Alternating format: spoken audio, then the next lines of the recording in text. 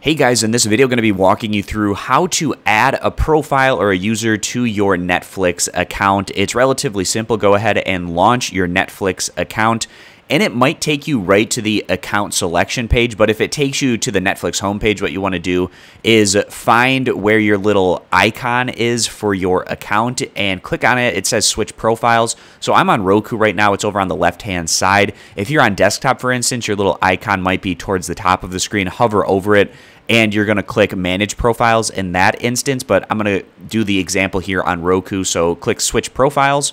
And then over to the right, it should say add profile with a little plus icon. Click on that.